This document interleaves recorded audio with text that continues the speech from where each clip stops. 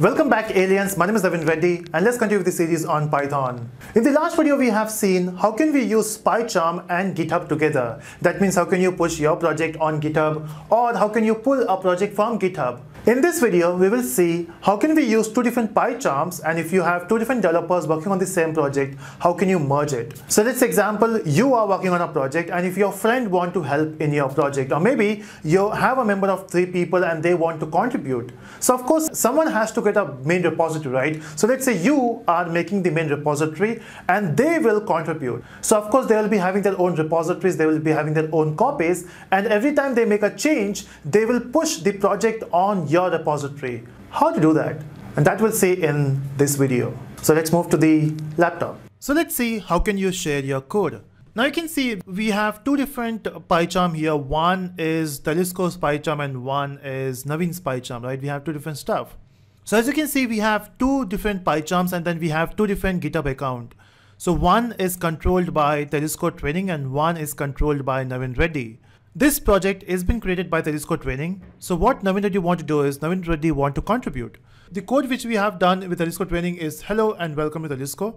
If you can see on the remote repository as well, we only have two lines.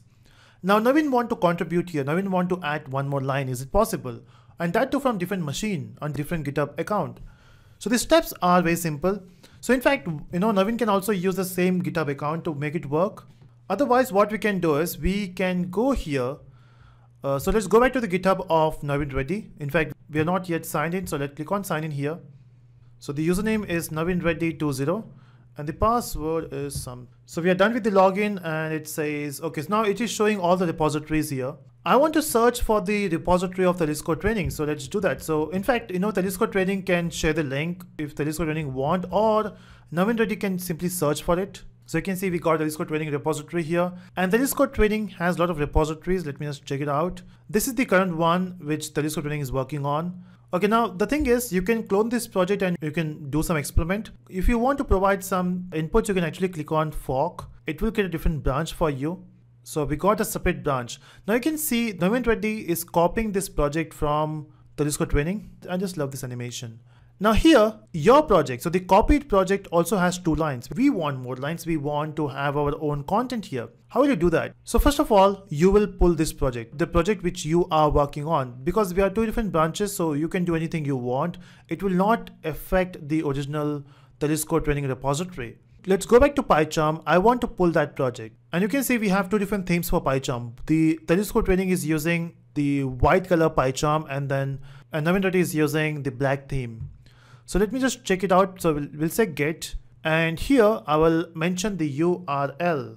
So let's go back here and so you will get the URL from here. So copy it. Now this is not the Telusko training URL, okay? So mind that. Now you can see uh, we are getting option of login to GitHub. Now in fact you need one more thing. You need a Git in your machine. I'm not sure if this machine has a Git installed by default. So let me just log into GitHub first from here. Click on login and oh that's done. So GitHub is done. Now does the connection just to be on safe side oh it is uh, it says oh can you see that? It says cannot run git so file not found git.exe so me just do that quickly so i will just to show you the steps so i will say git download. So we are using windows here let's do that. Now it will get downloaded soon. So as you can see we have downloaded the git software just click on this. It's very easy to install actually. So simply click on next next next next. It says will use okay let's keep it default Let's keep everything default as of now. Okay, so you can see it is done and we don't want to see the nodes and nothing. Click on finish. And if I go back to PyCharm, it may not work again because we have just installed Git. So let me just reopen PyCharm. So let's do the steps once again. I will click on Git. I have a repository. Let me just paste it here.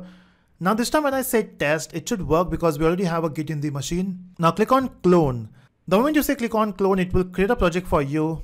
Yes, I want a directory for this and this is our PyCharm. So it is opened and I don't know the black theme uh, is it it's good for programmers but I'm not sure about the video. But then just to give you a just if I open this demo.py you can see we have our code here.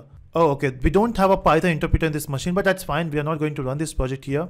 Okay. So we have these two lines. Now I know the font is a bit smaller but I don't want to change the font as of now. The important thing is what if Navin want to add some more lines? I would say hello from Navin. This is the text I want to add. So Navin is adding some more lines. Maybe Navin is also adding some more files. Now this thing need to be there on the server as well. I mean, I want to push this project. So let's say Navin has it five to six modules. I want to push this thing to Telusko training. Can we do that? So the, here are the steps. Now, first of all, whatever you're doing is, is happening in this machine. You need to send, you have to save this in a Git, local Git. To do that, you will simply, you will simply say right click, go to Git and say commit. That's the first step to do. Uh, you can add any commit message you want. It should be good actually, but then as of now it works. Click on commit. The moment you say commit, it is stored in the local repository. Uh, we can have any demo ID here. And commit, and you can see uh, we don't want this VCS file there you can see the local commit has been done. Now, once you have done with the local commit, you have to push this to the remote repository. For, for doing that, you have to say git again and you have to say repository. And this time you have to say push. Click on push and that's it done. So this code will be pushed on the remote repository of Navin Reddy. And as I mentioned before, it may ask you for the username and password. Let's do that quickly. So I guess it, it will ask you for this for the first time when you're doing this. Okay, you can see it says uh, pushed right? Let's go back to the website just to verify here. And if I open this file now, it should be having three lines. Oh, that's great. So you can see we got hello, we got welcome to Telusko, and we also got hello from Navin. Now this is the repository of Navin Reddy. Okay, if you can see, we have a repository of Navin Reddy. That's how I'm logged in. If I go back to Telusko and if I see this is the Telusko account here, and if I refresh this page, it is still two lines only, right? Because whatever you have done, whatever we have pushed is there only on Navin Reddy. How will Telusko will receive these changes? Now, whenever Navin Reddy want to contribute, what Navin Reddy will do is, of course, it will go to the repository again, this repository, and Navin Reddy will create a pull request. So you can see we have an option of new pull request. So we have to say new pull request. Now this request will go to Telusko training. Can you see that? It says a base fork is Telusko training. It will send the pull request there. Okay. Uh, with some changes, it will remove the line and it will add a new line. Is it? Maybe. Maybe that's one change we have done here. Let's see what happens. Now I will simply say create a pull request and that's done. Uh, it will ask you for the message as well. Let's keep the default message and create a pull request. That's it. The request has been sent to Navin Reddy. Let's verify. So I'm switching back to Telusko training now. And Telusko training, if I refresh this, you can see it says one pull request. Click on this one. Now this request has been sent by Navin Reddy. Okay, so we can have multiple contributors, not just one. Maybe Kiran can contribute, maybe uh, Praveen can contribute, maybe Rakesh can contribute. We can have multiple contributors. Okay, now just click on this. I hope, I think we have to say merge pull request. Now, of course, first of all, you have to verify what the other party is sending to you. And after that, if you feel everything is good, simply click on confirm merge. Sometime the conflict may happen. You have to solve the conflict as well. At this point, we have not got any conflict. We are lucky here. And that's it. I guess the merge has been done. Can you see that it says merged? And if I go back to my Navin Reddy, it also says merged. Okay, so the moment you say merged from Telusko training, it will say merged here as well. Go back to Telusko training.